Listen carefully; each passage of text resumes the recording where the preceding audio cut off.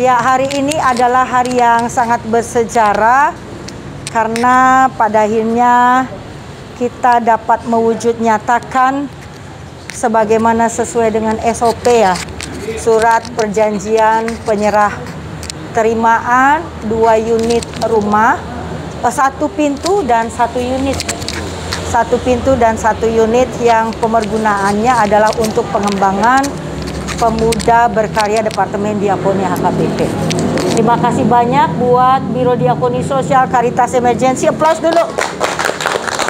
Ya, yang telah menyerah terimakan satu pintu dan satu unit rumah untuk pengembangan uh, burung puyuh dan juga selamat dan sukses buat pemuda berkarya Departemen Diakonia HKBP di dalam mengekspansi ya uh, pengembangannya di bidang ekonomi sehingga ke depan uh, pengembangan burung puyuh ini pada akhirnya menjadi salah satu alternatif selain kantin-kantin yang akan kita kembangkan bukan hanya di sini tetapi juga di distrik-distrik lainnya yeah. sehingga uh, tempat daripada pengembangan burung puyuh menjadi studi banding bagi pemuda lainnya bahkan nanti akan ditularkan ke distrik-distrik ya.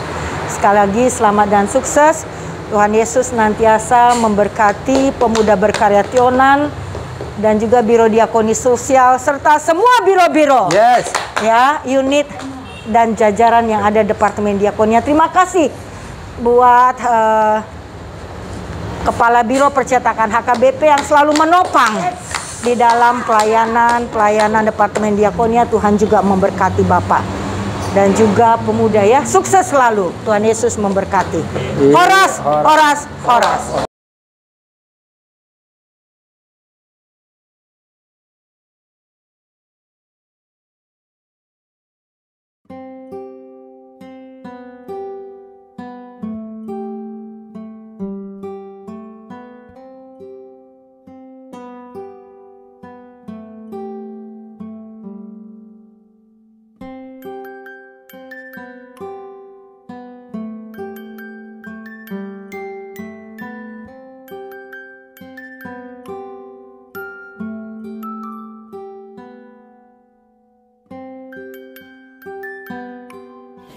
Ora, selamat siang.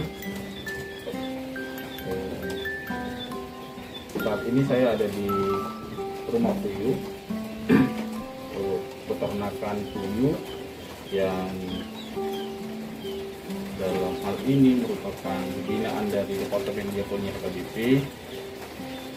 Kami sangat bersyukur ketika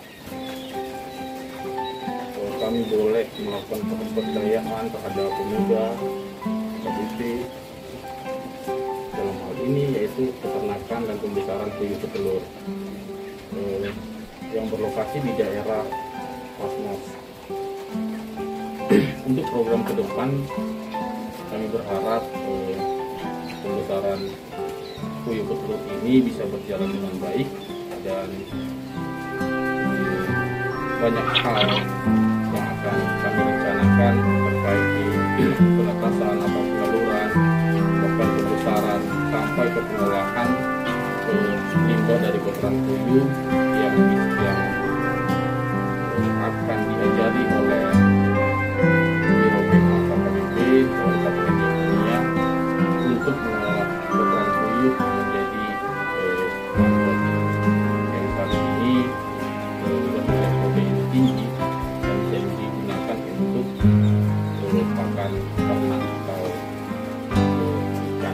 Kami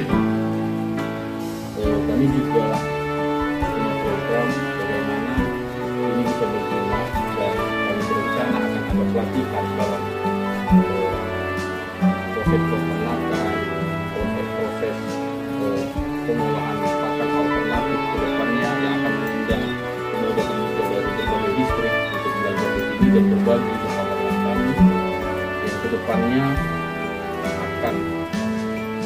membuat pemuda dan gereja itu semakin mandiri. Terima kasih buat AKBP, buat kepala departemen diakonia, Ibu Pendeta Deborah Pada Sinaga, Kabiro Pengmas, Amang Benesite, dan Kabiro Karitas Emergency, Amang Ortem Masunda, serta seluruh pemuda yang ambil bagian dalam eh, pemberdayaan ini. Mudah-mudahan kami mohon dukungan doa dari Amang Inang supaya boleh bekerja lebih baik lagi kami dan boleh menjadi berkat. Tuhan Yesus memberkati. Amin.